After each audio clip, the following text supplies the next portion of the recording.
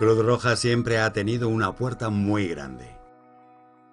Sus decenas de casas de asambleas locales repartidas por todo el territorio estatal han servido de acceso a los más vulnerables. Hogares al fin y al cabo donde se han repartido alimentos, donde se han dado cursos de formación o también ayuda emocional.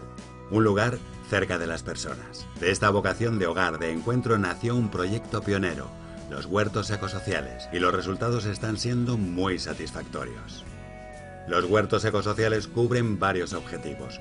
Por una parte, se atienden las necesidades alimenticias de personas vulnerables, se fomentan también actitudes medioambientales porque los cultivos son ecológicos, pero además contiene una vertiente social aumentando la autoestima y la autonomía de los colectivos. Entre este espacio y este hay mucha diferencia, ¿verdad?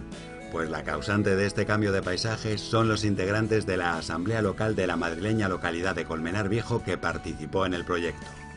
Desde Cruz Roja Colmenar Viejo animamos a todas las asambleas que tengan una parcelita, por pequeña que sea, a que se animen a, montar un, huerto. Es un proyecto muy bonito, tanto para la propia asamblea, por lo vistoso que queda, ¿no? No es lo mismo el secarral que ver los maizales que habéis visto aquí, y también para las personas con las que estamos trabajando. Es una opción muy buena para ellos, tanto por los alimentos que sacan como bueno, pues por los ratos que y por lo que se trabaja a través de este tipo de proyectos. Para llevar a cabo esta iniciativa, las asambleas locales crean el espacio natural, eligen a los participantes, voluntarios de Cruz Roja les forman en las habilidades agrarias y luego todo es disciplina, cuidado e ilusión por lo que se está haciendo. Lechugas, tomates, acelgas, pepinos o hasta melones son la mejor prueba del trabajo.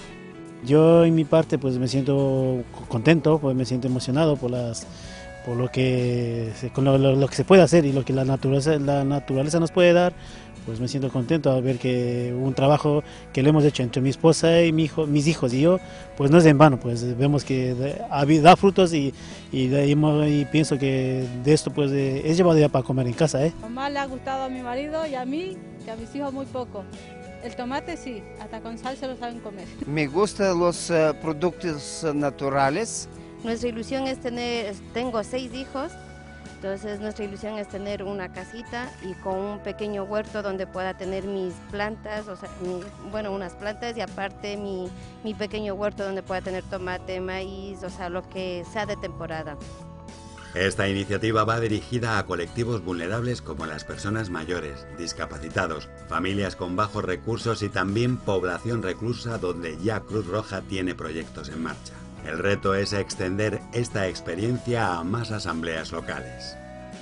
Los huertos ecosociales en Curroja son un espacio de ocio saludable donde los usuarios puedan trabajar su propio huerto para tener alimentos para su día a día en cuanto a, la alimentación saludable y por otro lado un espacio de ocio social donde se puedan interrelacionar entre ellos, aumentar su autoestima, ocupar su tiempo libre, mucha gente que es desempleada las puertas de Cruz Roja Española se abren ahora también al campo, espacios abiertos, saludables y sociales, donde la naturaleza es nuestra mejor aliada para ayudar ahora más que nunca.